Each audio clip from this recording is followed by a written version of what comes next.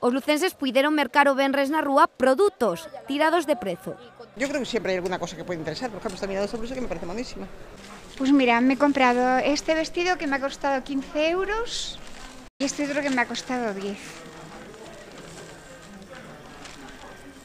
Fin das rebaixas e o comercio de Lugo volveu encher a rúa de gangas ca quinta edición do Street Market. De otro modo, tal vez no hubiera entrado, pero la, el, los precios son muy apetecibles y, y, tienen cosas bonitas también. El comercio lo conocían, lo que pasa es que a lo mejor no habían entrado y al ver la ropa, pues dice, ah, pues mira, tienes cosas muy bonitas, llevas marcas que sí que conocemos y cosas así, ¿sabes? Si antes no, no habían entrado. Entonces sí, la verdad es que es una buena publicidad. Mercadorías sobrantes e ata descontos exclusivos en pezas de nova tempada para ir a última e de paso a forrar uns cartos o peto. Es una capricho de la naturaleza, me parece a mí. Y eso lo aprovecha la diseñadora para hacer sus propias piezas.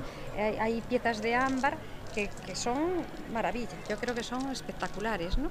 Todo lo nuestro no es moda, no es, no es, tem, es temporal, entonces como no pasa de moda, o sea que hay mucha gente que conoce nuestras piezas y justamente pasó por aquí el 20% de descuento, nosotros no hacemos descuento habitualmente, solamente en la noche abierta en estos y aquí, en el Street Market. Prezos de ata o 90% en complementos, bolsos, xoias, todo un amplo catálogo de produtos, tanto para elas como para eles. Compré dos abrigos y dos camisetas. Yo prefiero comprar todo productos españoles, empezando por aí. E después, claro, mejor en donde estás. E cunha oferta de marcas moi variada. Máis de 70 establecementos participaron nesta iniciativa que promove desde os seus inicios a Asociación de Autónomas co apoio de Concello de Deputación. Es una manera más de promocionar el comercio lucense en el centro. A mí me parece una iniciativa genial y sí se nota en las ventas, sí. Y a la gente le gusta también, ¿eh?